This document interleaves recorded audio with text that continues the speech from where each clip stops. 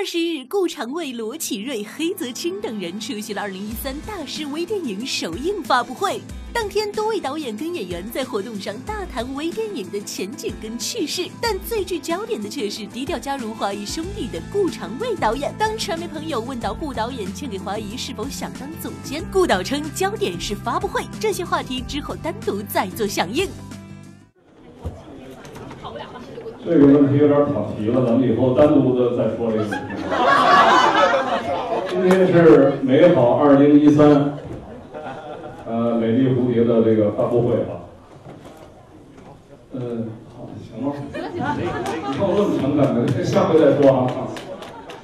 去年二零一二大师微电影由顾长卫执导的纪录微电影《龙头》，徐安华执导，吴镇宇主演变性题材作品《我的路》，蔡明亮解构禅意人生的《行者》，及韩国金泰勇诠释凄美邂逅的《你何止美丽》四部作品组成，目前总播放量近两千万，成绩非常亮丽。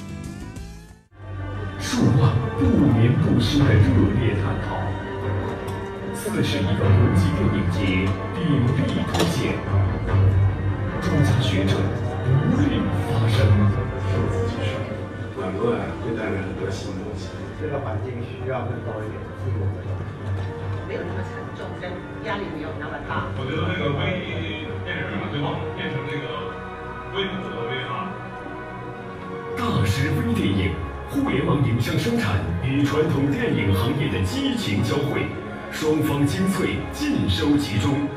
从内容到制作，从品质到口碑，大师已为微电影树立了新的标杆与示范。微电影的黄金时代就此开启。